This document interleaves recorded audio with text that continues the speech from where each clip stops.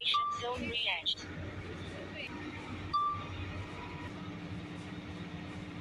Kailangan natin.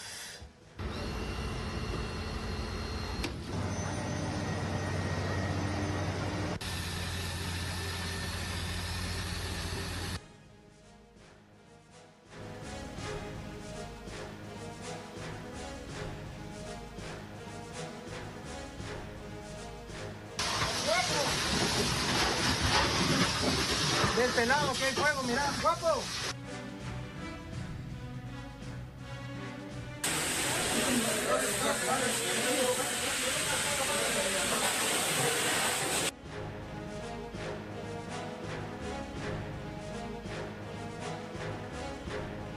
Está caliente el agua, muchacho.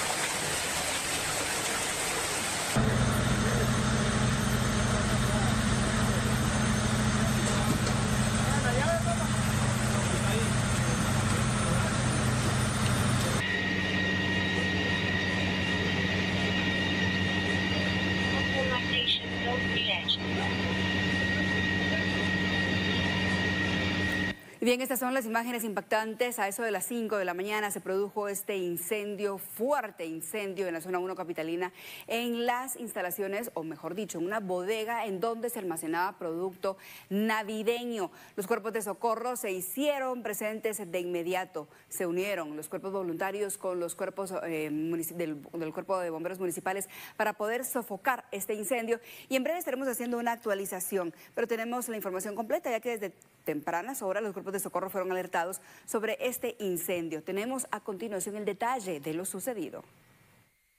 Desde la 19 calle y décima avenida de la zona 1, en donde desde las primeras horas de este lunes se registró un siniestro de grandes proporciones en una bodega donde se almacenan eh, adornos navideños, así como juguetes o regalos alusivos a las fechas de fin de año. En este caso, el Cuerpo de Bomberos Voluntarios ha trabajado ya por más tres horas en la extinción de llamas, trabajo que ha sido bastante difícil debido a que las bodegas, las ventanas de estas bodegas, un edificio de cuatro niveles, tiene eh, doble protección, es decir, los barrotes que protegen las ventanas, los vidrios y a la par de los vidrios por seguridad los dueños habían instalado láminas para evitar eh, cualquier ingreso de objetos extraños, la delincuencia.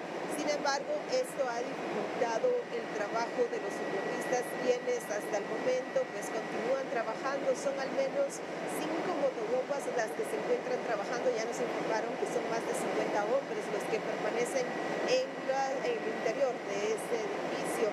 Asimismo, por medio de equipo especial se ha subido al tercer nivel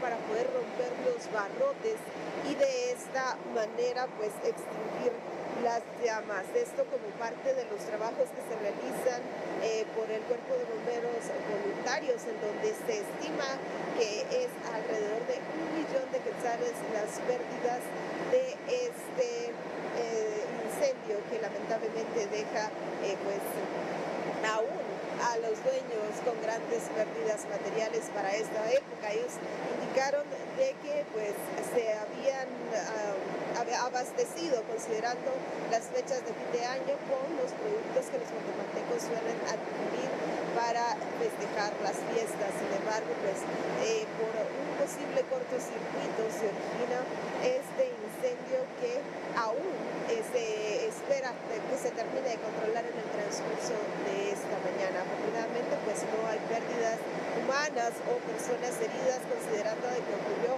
en horas de la madrugada.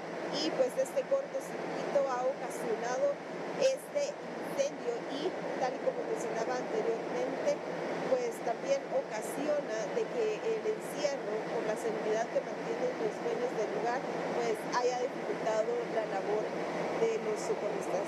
Se monitorea entonces eh, desde dentro el siniestro, ya podemos observar humo blanco. Según nos informaba el oficial Hans Lemus, el humo blanco eh, indica de que el incendio está siendo controlado por dentro por el cuerpo de socorro. Cuando el humo es negro, aún son las llamas las que se mantienen vivas, sin embargo, pues ya los oficiales con equipo especial, oxígeno más máscaras también para evitar el ingreso de eh, humo a los pulmones son utilizadas por los socorristas quienes también se están abasteciendo en sectores aledaños. Asimismo, los vecinos pues han otorgado agua a los bomberos quienes luego de trabajar por 10 minutos salen a tomar aire debido al calor y también la falta de visibilidad, también de oxígeno en el lugar y pues son auxiliados por vecinos que les otorgan un poco de agua pura para que puedan restablecerse.